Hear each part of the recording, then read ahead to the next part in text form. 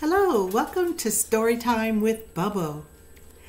It's been quite a while since I made a video to upload to my YouTube channel, Storytime with Buhbo. And just as a reminder, why is it called Storytime with Buhbo? Well, my grandson named me Buhbo when he was just a little, little guy. And it stuck. Everyone in my family calls me that even though my real name is Miss Marcia.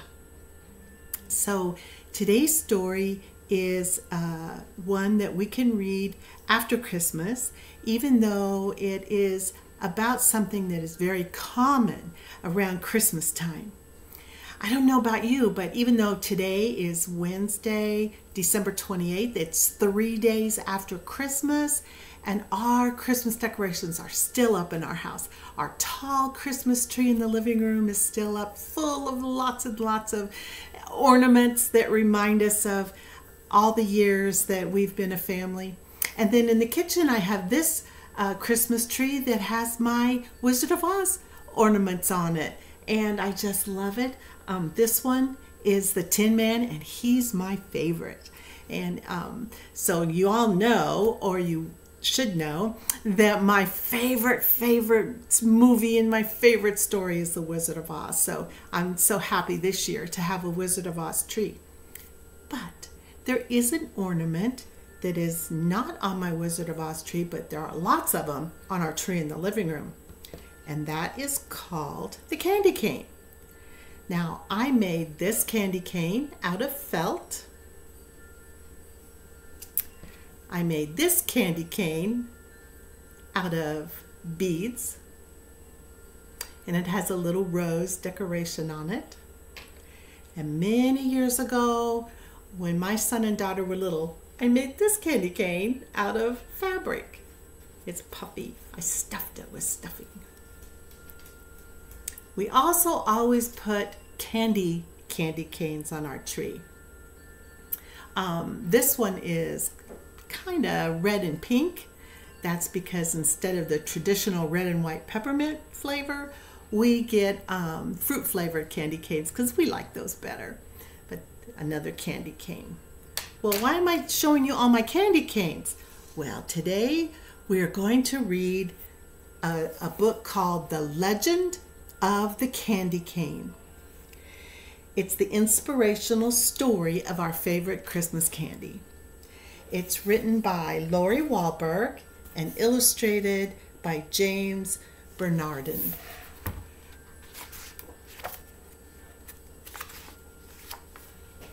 The Legend of the Candy Cane. One dreary evening in the depths of November, a stranger rode into town. He stopped his horse in front of a lonely storefront.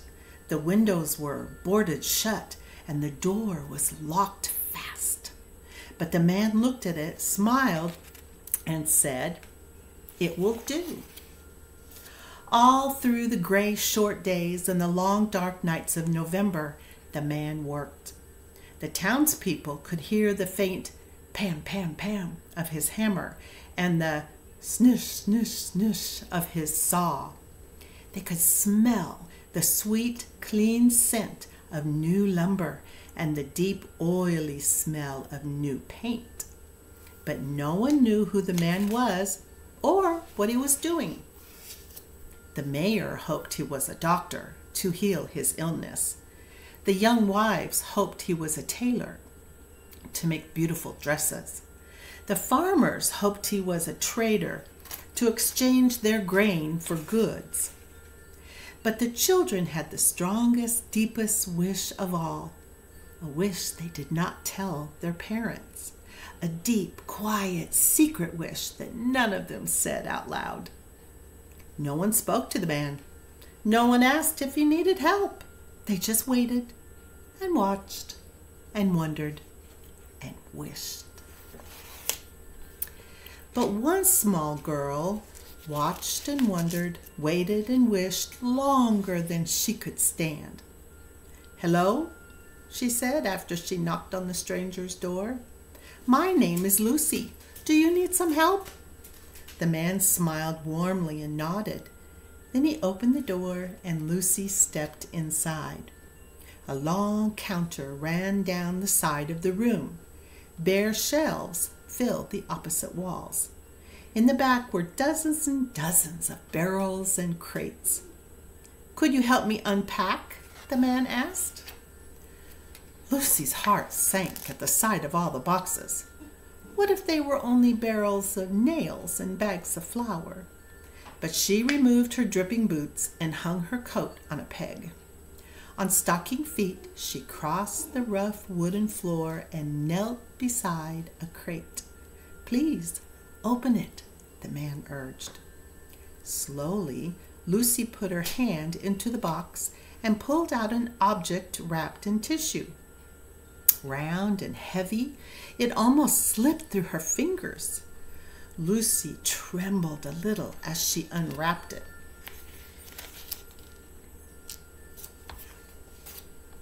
It was a glass jar. Lucy gave the man a puzzled look. Go on, his nod said. So she unpacked another glass jar and another and another until she was completely surrounded by jars of all shapes and sizes, tall and thin, round and squat, jars with lids and jars without. Now the man said, for something to put inside and he pulled over a huge crate stamped with a strange word confections. As Lucy unpacked, her eyes lit up. It was candy, her favorite candy, gumdrops. Try some, the man said. She popped one in her mouth. Now she could hardly unwrap fast enough peppermint sticks, taffy, lollipops, chewing gum. Wide eyed, she looked at the man. We wished, Lucy said. Yes, I know, said the man, and here it is. Welcome to Sonneman's Candy Store. I am John Sonneman. Soon the small store was filled with candies or confections gleaming in their glass jars. Raspberry suckers and tiny lemon drops, brightly colored jawbreakers and long tangles of licorice, pink and white peppermints for church, and butterscotch balls for company. Then, in the very last package, in the very last crate, was a candy Lucy had never seen before a red and white striped candy stick with a crook on the end. What is this? Lucy asked. This, Mr. Sonneman explained, is a candy cane. It is a very special Christmas candy. Why? Lucy asked. Tell me, Mr. Sonneman said, what letter does it look like?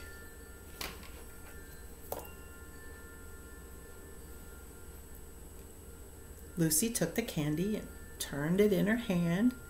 J, she said. Yes, Mr. Sonneman smiled. J for Jesus, who was born on Christmas Day. Now turn it over. What does it remind you of? She peered down intently. I know, she said finally. It's like a shepherd's staff. Who were the first to find out about Jesus' birth? Mr. Sonneman asked.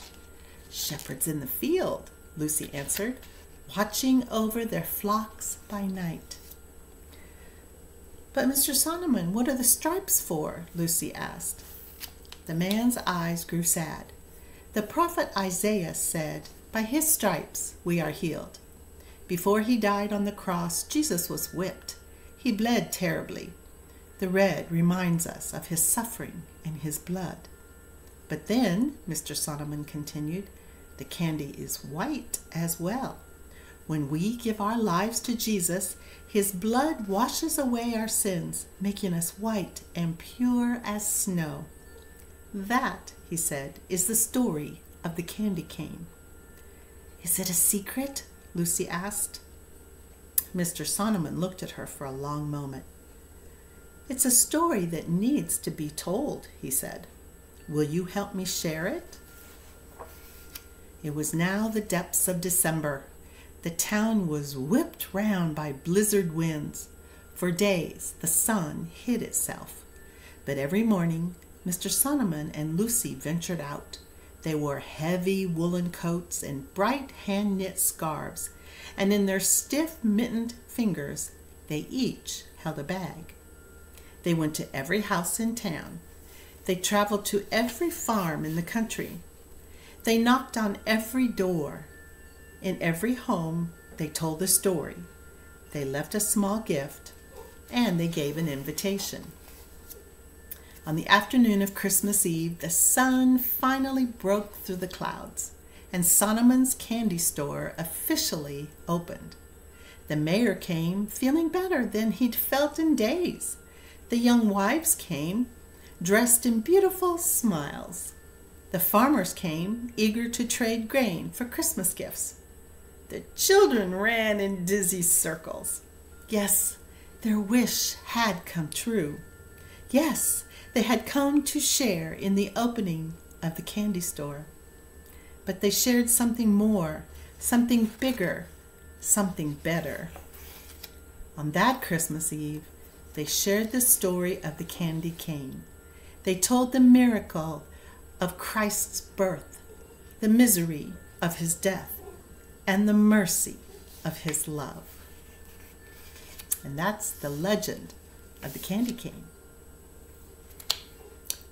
I'd also like to read a few paragraphs that tell the history of the candy cane.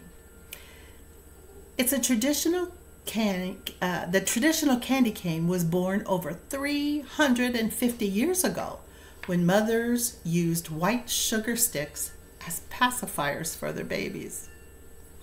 Around 1670, the choir master of Cologne Cathedral in Cologne, Germany, bent the sticks into canes to represent a shepherd's staff. He then used these white candy canes to keep the attention of small children during the long nativity service. The use of candy canes during the Christmas service spread throughout Europe.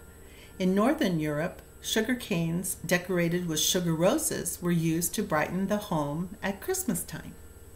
In the mid 1800s, the candy cane arrived in the United States when a German Swedish immigrant in Wooster, Ohio, decorated his spruce tree with paper ornaments and white sugar canes. The red stripe was added to the candy cane at the turn of the century when peppermint and wintergreen were added and became the traditional flavors for the candy cane. Some sources say that a candy maker in Indiana developed the candy cane as a witness of Christ's love. While we may never know the full history of the candy cane, we can share in the truth behind its symbol, the truth of Christ's birth and redemption, and the gift of his love.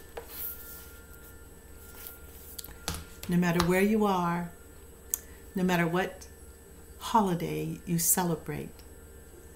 May you have love, may you have peace, and may you have joy. Thanks for listening. See you later.